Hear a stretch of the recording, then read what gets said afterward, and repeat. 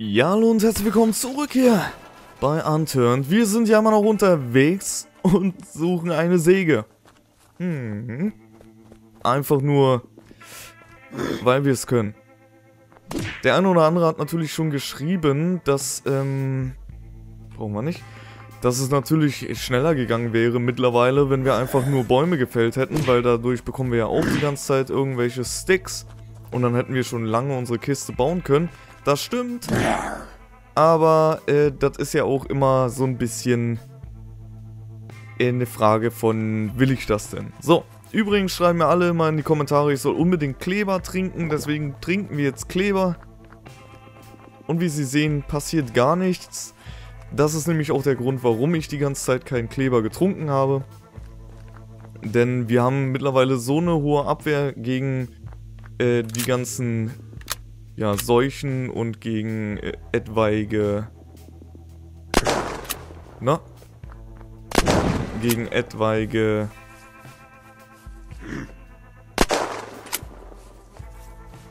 Kurz mal konzentrieren. gegen etwaige äh, Psychosubstanzen ist das absolut falsche Wort. Warte, ich such's mal raus. Äh, Immunity. Gegen Halluzinogene heißt es natürlich, logisch. Deswegen passiert da nicht mehr viel, wenn wir jetzt irgendwie Kleber trinken. Nur, nur damit ihr mal wisst, warum ich das die ganze Zeit nicht gemacht habe. Das ist auf jeden Fall einer... Arschloch. Einer der Gründe dafür. So. Zack. Na, Junge! So, so, so, so. Übrigens, danke an alle, die mir irgendwie in der einen Folge alles Gute zum Geburtstag gewünscht haben. Heute ist nämlich mein Geburtstag, also heute, wo ich das hier aufnehme. Mittwoch, der 26. Da bin ich irgendwann mal vor viel zu vielen Jahren geboren worden. Und das Ganze gipfelt heute in der Tatsache, dass ich viel zu alt. Oder geworden bin, ne? Denn ich bin ja schon, bin ja schon hier. Wir trinken mal was. Wenn wir denn dürfen. Oh, der hat Schaum vorm Mund. Der ist bestimmt sauer. So, so, so. Was können wir dann noch? Hier haben wir noch was. Wir haben noch ein Chocolate Bar, habe ich gesehen. Ja, wollte nur Danke sagen. Ähm, ja, ein paar Leute haben auf Twitter auch gefragt, und was machst du so an deinem Geburtstag? Ich sitze hier und nehme auf, denn mein Geburtstag ist... Warte mal. Repair, zack. Das können wir auch reparieren. Mein Geburtstag fällt nun mal auf Mittwoch und der Mittwoch ist ja bei mir der zweite Aufnahmetag in der Woche. Und auch wenn heute mein Geburtstag ist, nehme ich natürlich auf. Tja, so einfach ist das. Denn ansonsten kommen wir nicht voran. Lange Rede, kurzer Sinn. Wo willst du denn hin? Lange Rede, kurzer Sinn. Wir ähm, sind immer noch unterwegs, wie gesagt. Ah! wir sind immer noch unterwegs. Eine Bratpfanne suchen. Nein. Eine Säge. Ich hätte gerne eine Säge. Und Wheat nehme ich immer mit. Also. Nee, du weißt schon. Verstehst schon. So, Tomato. Eine Tomaco würde ich mitnehmen. Hießen die? Die hießen Tomacos, ne? Bei den Simpsons? Oder? Ich glaube, die hießen Tomacos. So, warte mal. Zack.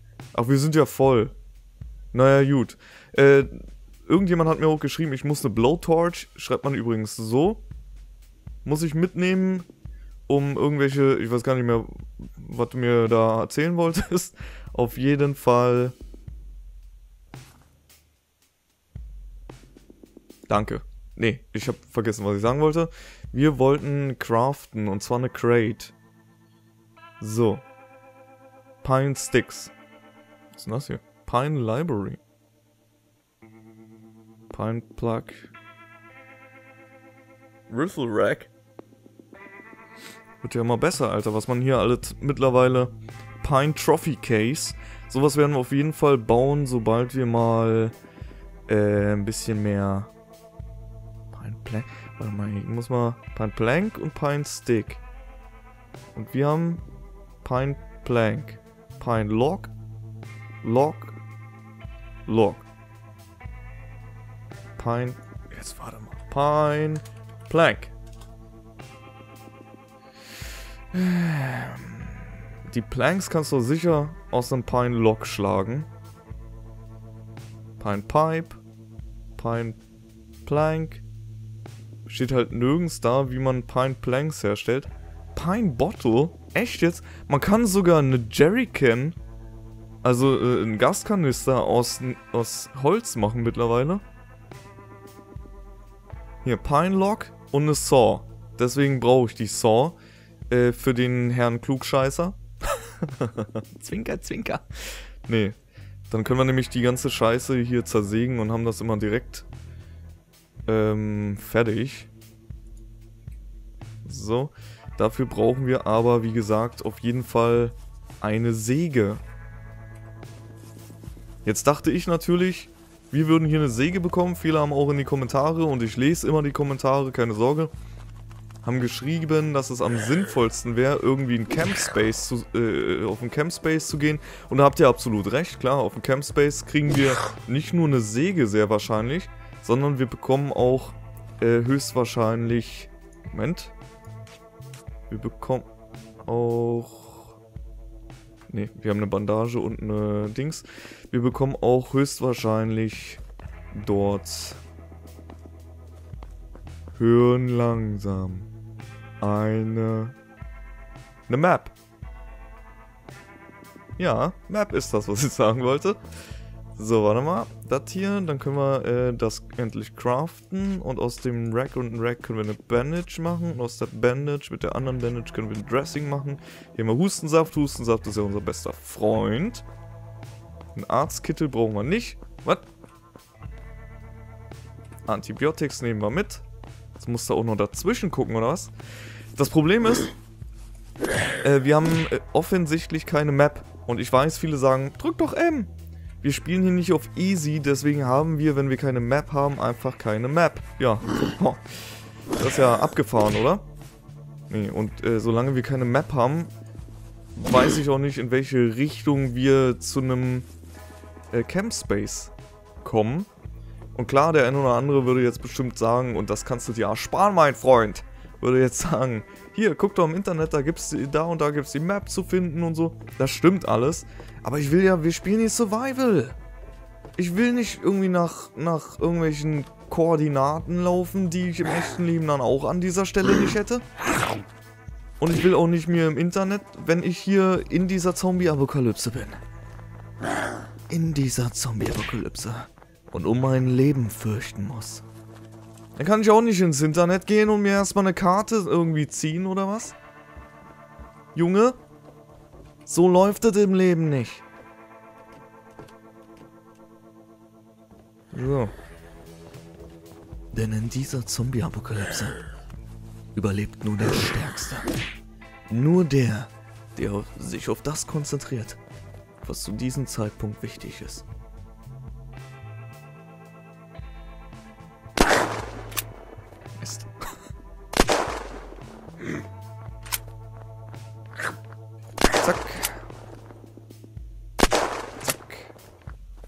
Da habe ich so schön gezielt. Nahrung ist wichtig. Alles, was das Überleben verlängert. Wo ist denn unser Auto eigentlich? Moment mal, wir haben doch hier irgendwo unseren Tracker geparkt gehabt. Dann fahren wir weiter mit dem Tracker, Alter. Es ist hart. Denn wenn es ums Überleben geht, werden Freunde zu Feinden. Und irgendwann stehst du alleine da. Versuchst zu überleben. What the fuck ist mit dem Tracker? Und dann ploppen die Räder ein. Und du denkst, what the fuck? Aber du musst weitergehen, weiter überleben. Denn wenn du nicht überlebst, dann bist du äh, tot. Tja. Okay, cool, der ist leer.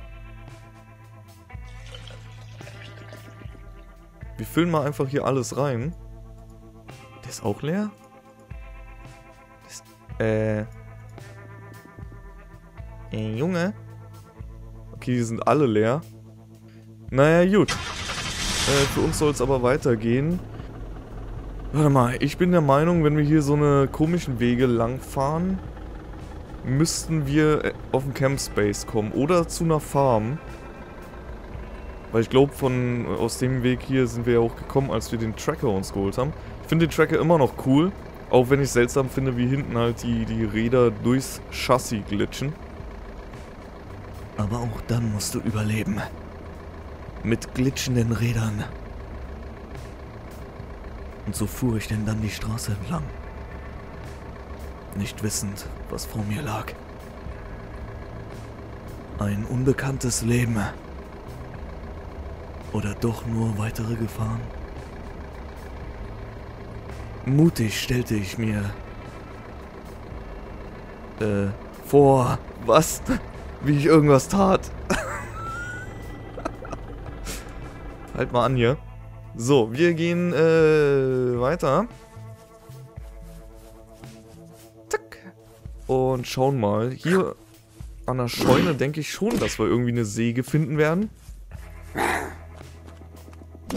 Und wenn nicht, weiß ich ja, dass wir uns auch eine craften können. Äh, da weiß ich bloß nicht, ob wir die nötigen Gegenstände haben. Ich glaube, wir brauchen bloß äh, bisschen Metal, Scrap und irgendwie ein bisschen Holz und Kleber. Wie kann man sich eine Säge craften? So, hier, Saw.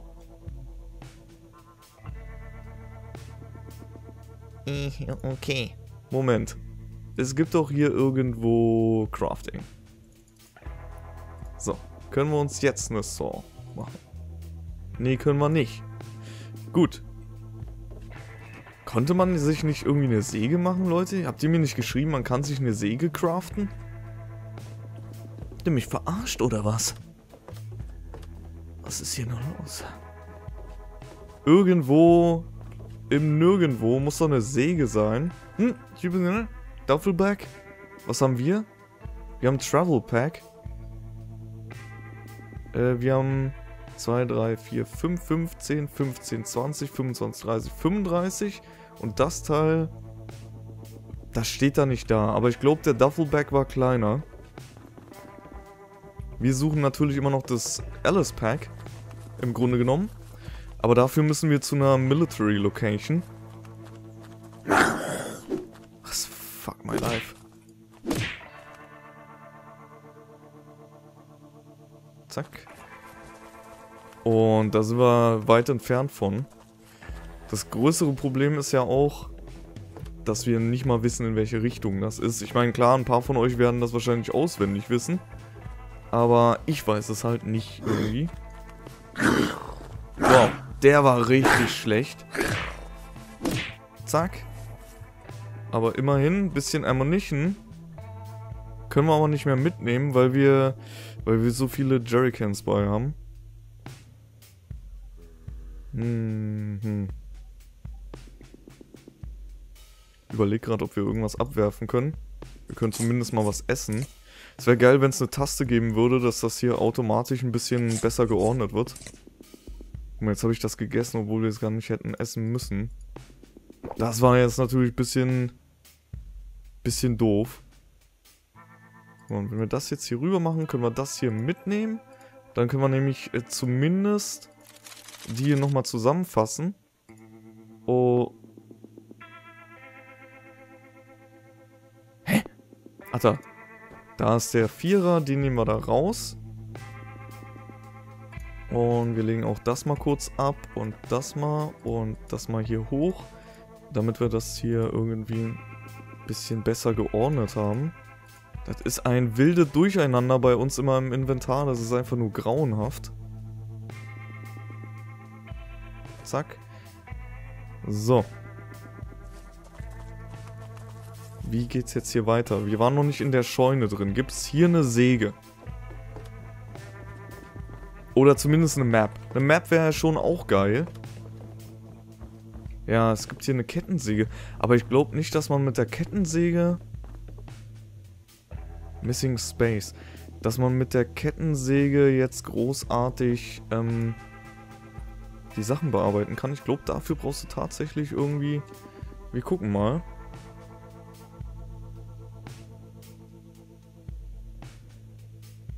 Pine Stick. Siehst du, du brauchst unbedingt die Säge dafür. Das ist natürlich doof. Wir brauchen drei Sticks. Und sieben Planks.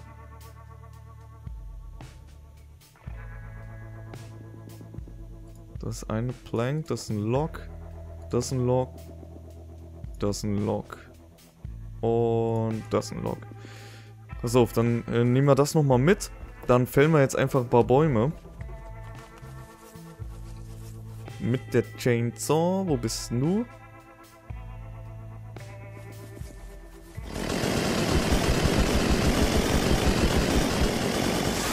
Baum fällt. So, Stick. Stick. Stick, Stick. Stick. Wie viele Sticks brauchten wir da nochmal? Drei. Wie viel haben wir? Wir haben mehr als drei auf jeden Fall. So. Aber warte mal, wir konnten doch... Wir konnten doch eine Plank aus Sticks machen, ne? Pine Plank. Genau. Dann sammeln wir jetzt einfach die Sticks. Und machen da erstmal Planks draus. Äh. Eine. Wow. Das machen wir jetzt noch so ungefähr 5000 Mal. Dann müssten wir eigentlich genügend haben. Da ist noch ein Stick. Ist immer, ich meine, ich finde es ja ganz geil, dass jetzt der Baum richtig umfällt und so. Damals, wenn ihr überlegt, ne, so wo, wo wir angefangen hatten, da war das alles so, dass das gar nicht richtig umgefallen ist. Sondern es ist dann einfach weg gewesen. War auch okay. War ein bisschen übersichtlicher. Äh, Stick. Aber so sieht es natürlich cooler aus. Stick, Stick. Da ist noch ein Stick. Zack. So, wie viel Planks können wir dann jetzt schon... Great. Jetzt haben wir 4 von 7. Es ist natürlich die Frage, ob wir überhaupt genügend äh, Inventarplatz frei haben. Ja, ich kann da bleiben. Ähm... Brauchen wir noch die Fire Axe? Brauchen wir eigentlich nicht. Weil wir haben ja eine Kettensäge.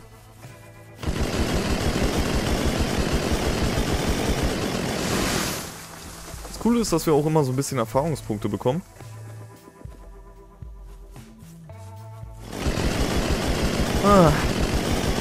Leute, es kann sich nur um Stunden und Tage handeln.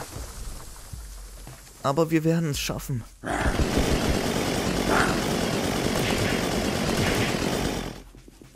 Ich schwör's euch. Irgendwann.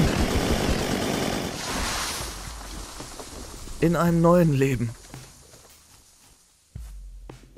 Zack. So, plank, plank, plank. Wie sieht's jetzt? Oh, warte, können wir ja hier direkt gucken. Wir haben jetzt sieben Planks. Und brauchen nur noch drei Sticks, Leute. Nur noch drei Sticks. Wir sind so nah. So nah darin, endlich eine Crate herzustellen. Unfucking fassbar. Eins, zwei, 3. So. Herr von und zu Crate. Wo sind sie? Da ist sie. Die Pine Crate. Und mit der gehen wir jetzt zurück zu unserem Traktor. Und werden den jetzt einfach mal total gechillt am Traktor anbringen. Das übrigens ist eine coole Waffe, aber die ist jetzt gleich im Arsch. Das heißt, wir äh, Wechseln das auf jeden Fall wieder gegen das Messer. Den müssen wir erschießen. Beziehungsweise müssen wir nicht, aber... Ähm, huch.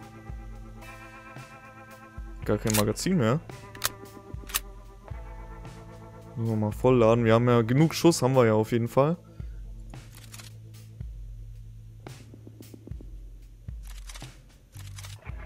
Da unten. Ich wollte gerade sagen, hä, wir haben noch mehr Magazine. So, zack. Einmal reingeladen. Und zack. Na?